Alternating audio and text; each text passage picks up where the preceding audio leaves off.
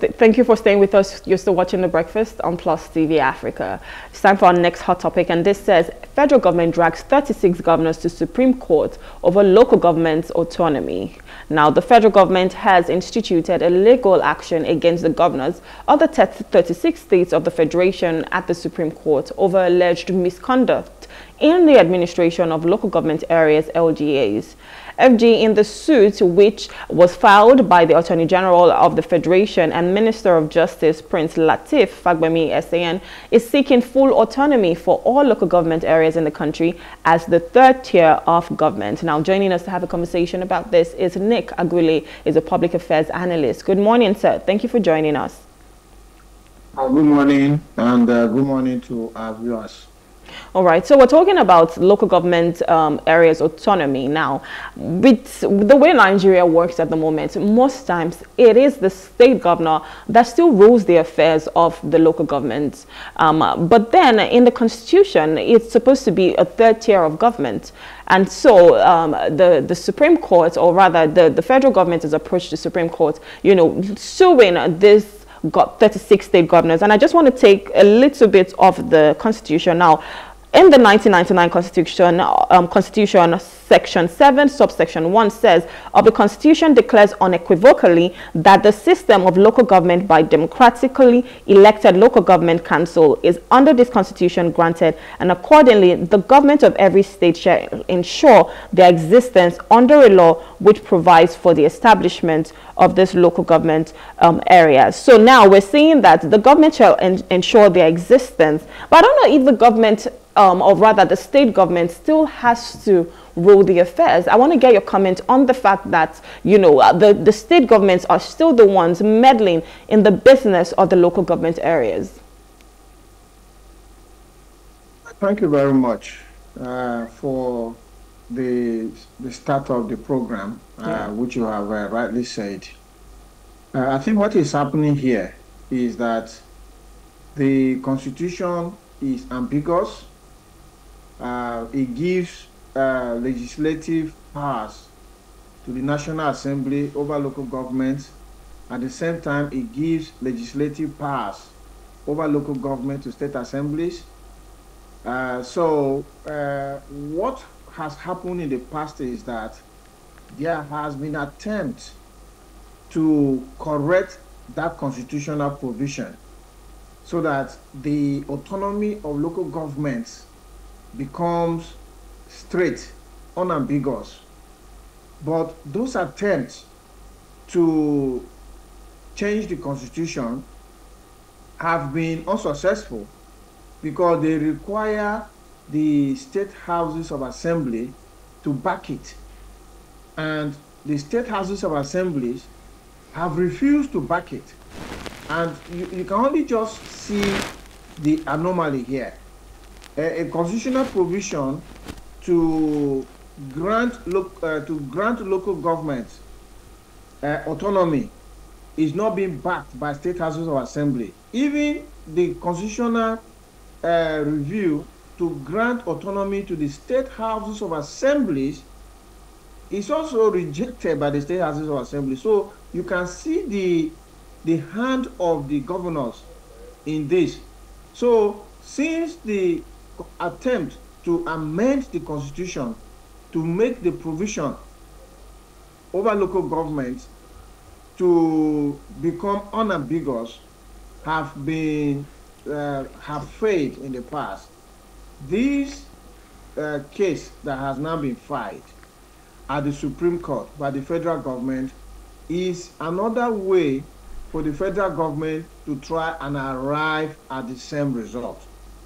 So um, the, the, the issue is very straightforward. Like you have said in, in uh, Section 7, it says that local government are to be governed by democratically elected councils, and that is guaranteed. There is nothing in the constitution that grants the state governors the powers to dissolve local governments. Hmm. And so in that in that aspect alone, it's an illegality that is being perpetrated by the local government. And I believe that uh, when the Supreme Court begins to hear this case, those are the, the, the, the evidence that the federal government is going to put on the table as part of the reason why this case uh, has now been taken to the judicial arm of government. So all over the, the country, you will see that in most states, as we speak today, the governors uh, pretend over local government, you know, uh, arrogate unto themselves powers that the constitution does not give them, because the constitution does not have any provision for local government transition councils. There is no provision like that. But like I said, it is the ambiguity, especially in section 162 of the constitution, where the, the, the federation is to send money to the local government by laws made by the National Assembly. And again, the same constitution says the, the, the state assembly is to make laws on how those revenues will be distributed. And constitution goes ahead to create a local government joint account for each state. What's the reason? You know, there is no state joint account. Federal government sends money directly to each state government. There's nothing like federal government create a, a, a, a, joint account for states. So why are we creating a joint account for local government, yeah. which have now been hijacked by governors to perpetrate these illegalities that we're talking about? So this case is to strengthen all those areas. So, I mean, you've spoken about the ambiguity of, you know, the Constitution. And, and I think it's a Constitution that definitely allows this because when you're not being specific, when you're not trying to make people understand in clear terms, being concise with the words, then obviously it will be taken out of context. So if we're talking about this, shouldn't this now be a case whereby we start to look at the constitution and, you know, try to be more concise and, and clear with this? Maybe we're talking about an amendment of this constitution because clearly um, it, it affects the financial independence of the local government um, areas. And another question I was going to ask, aside, you know, having to amend the constitution, also, how does this impact them, you know, the, the, the, the, local government? How does, the, how does it impact their own independence, having to be able to do things for themselves? The, the, the first part of uh, the question, or the first question you have asked regarding the amendment of the constitution, is actually the right solution. But like I said, attempts have been made in the past where the constitutional review process has happened and those ambiguous sections of the constitution have been made unambiguous have been have been straightened out and the autonomy of uh, local government is no longer in in question is no longer in doubt it is very straightforward but the same constitution says before any constitution amendment passes, it must go to the state houses of assembly to agree to it. And the state houses of assembly in Nigeria, firmly and remotely being controlled by the governor, have continuously rejected the changes in the constitution, the proposed changes in the constitution that will make it unambiguous, hmm. the autonomy of local government. That's what has been happening. And that is the frustration of the federal government because the federal government is unable to pass and sign into law the amended constitution if it's not being backed by the state houses of assembly. And that's why I said this case that the federal government has now instituted at the Supreme Court is, is another way for them to go and get the same answer, to get the same result. Since the constitutional review process is dead on arrival because the governors are blocking it through the state houses of assembly. The federal government now thinks that the judiciary should come in, and since the judiciary is not directly under the control of the governors, that they, they, they will probably get a result at the at the Supreme Court.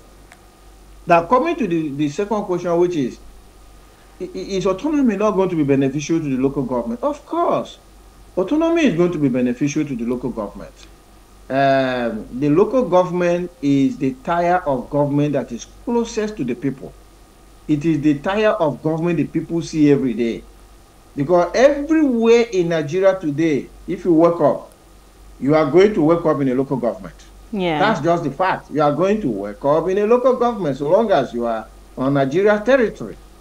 And if that local government is responsible, is delivering their, their, their constitutional mandate as it used to happen, then life will become better. Imagine there are 774 local governments in, in, in Nigeria. You know, actually, there are 768 local governments in Nigeria and six uh, uh, uh, councils Yeah. in, uh, in the FCT, which together makes it uh, 774. Imagine that there is development work happening in 774 locations simultaneously across Nigeria. Nigeria will be a much better place than it is today. You know? So if we woke up today in 774 locations in Nigeria, which is a local government, uh, you know, education has been provided, uh, sanitary services have been provided, uh, streets are being done, roads are being done, you know, things like that. It's, it's, it's, it's going to improve the quality of life of Nigerians. It's going to create jobs and it's going to take governance right to the grassroots. But the governors are not allowing that to happen. Look, I had a friend, uh, I don't want to mention names, but I had a friend who, who was a local government chairman. This man's allocation, he never saw it. When the allocation came, the governor seized the allocation. He had letter heading, well, letter headed paper for each local government. They will use the letter headed paper of each local government award contracts in the name of the local government. Pay for those contracts. And my local government chairman friend will just be watching. They will now send a, a little balance to the local government, and he too will just, uh, you know, deal with it in the way he wants with his people. And that will be the end of local government governance for that month until the next allocation comes again. So this is the kind of situation that is happening. Obviously, if the federal government is able to pull this off through the judicial process, it's going to help Nigeria greatly. And actually, this is what we need to happen.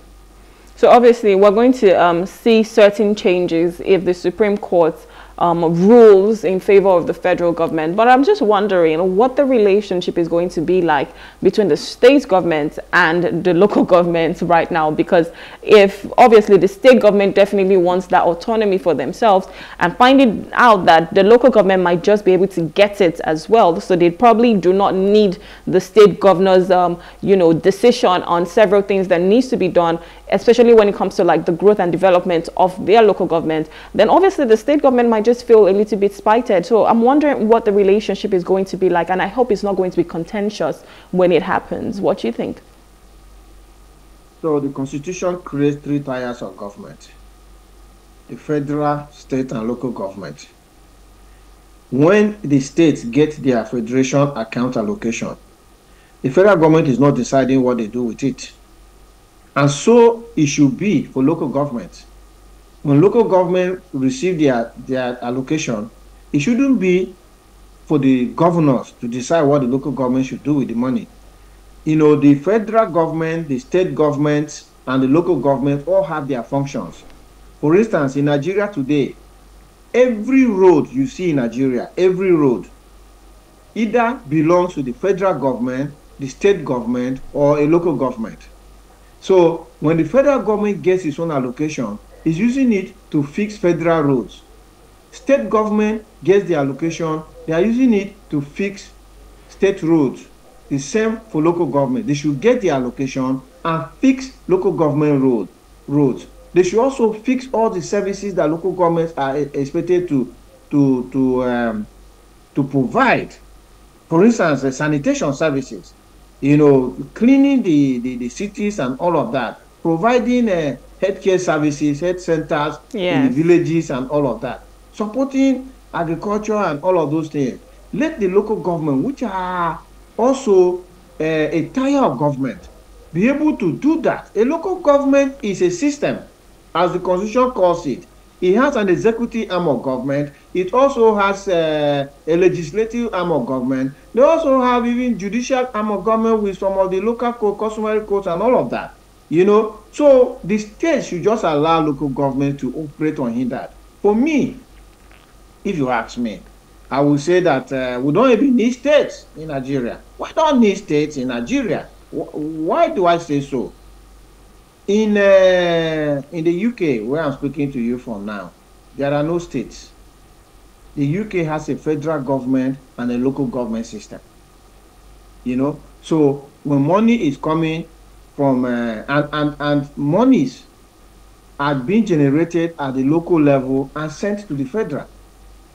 And the federal is only responsible for big ticket items like you know defense, foreign current, uh, I mean foreign policy, economic policy, uh, issuance of currency, and all of that. The local governments are doing the rest of the things. You know, we copied this democracy from the United States, this system of government that we are running in Nigeria. We copied it from the United States, where they have federal, state, and local governments, hmm. yeah, and counties. But the reverse is the case in the United States. In the United States, the states are the ones that are generating the revenue and sending it to yeah. the federal. You know, but in Nigeria, it is the federal generating the revenue, sending it to the states. And then the one they send to the local government, the states also hijack it. So what is, what is the value of states in, in, in Nigeria? In the US, we say the value of state is because the states are generating revenue and sending to the federal. In Nigeria, what is the value of a state?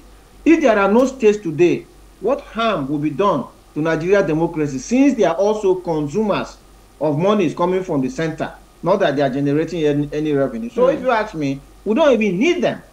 So if we are if we are courageous in our decision making, we should just scrap the state so that the federal government sends money directly to each of the 774 local governments, and you can see that development will begin to boom in Nigeria when those 774 centers uh, become uh, development uh, areas. Hmm. So, I mean, we, with all of this now, with the federal government taking the state government to um, the Supreme Court, obviously we're hoping for, we're having a positive outlook that they might just win. Um, but now, uh, to wrap it up in just about a minute, how can, you know, the autonomy of the local governments be better protected um, and implemented moving forward? Well, the autonomy of the local government will be better protected uh, moving forward, either of two things the constitution is amended to make that autonomy unambiguous. Mm. A process that the governors have continuously stored, or the Supreme Court makes a clear judicial pronouncement regarding the autonomy of local government. Either of those two ways, uh, things can happen. But if you ask me, if I were in President Tinubu's shoes, I would arrogate unto myself the powers by interpreting the constitution this way. The constitution, like you started this program with, unambiguously in section 7 says the system of local government in Nigeria will be by democratically elected councils, and that is guaranteed. And any local government in Nigeria that does not have that system, I will not send federation account money to them. So let it be the governors to go and sue me mm. at the Supreme Court. I will stop giving them money. And then I will sit back. If the governors feel that I have done something wrong, let them be the one to go and sue me. And then the case will be will be ongoing. So if I were President Tinubu, that's what I will I'll use Section 7 and stop sending money to any local council in Nigeria that does not have uh, a system of democratically elected council members. Mm. Well, we hope that President Bola Tinubu does that, making that declaration, or the um, Supreme Court makes, you know, a pronouncement on this. Or, um, better still, the Constitution, the 1999 Constitution will just be amended because we don't want a Constitution that is so ambiguous and then the local governments do not have the autonomy. For the growth and development of each local government area, it is imperative that they have their autonomy and then they can have some form of financial independence and um, some form of functionality for their own people, for their own communities. Anyway, this is where we have to wrap it up here. I want to say thank you, Nick, for coming. It's always a pleasure having a conversation with you. Thank you. Thank you very much and have a nice day. All right, we've been speaking with Nick Agule. He's a public affairs analyst, and we're talking about the fact that the federal government has dragged the 36 state governments state governors to court um, regarding the autonomy of the local government areas. This is where we have to wrap it up on the show. It's always a pleasure having a breakfast with you every day. My name is Rome Paulson. I'll see you again tomorrow. Have an amazing day.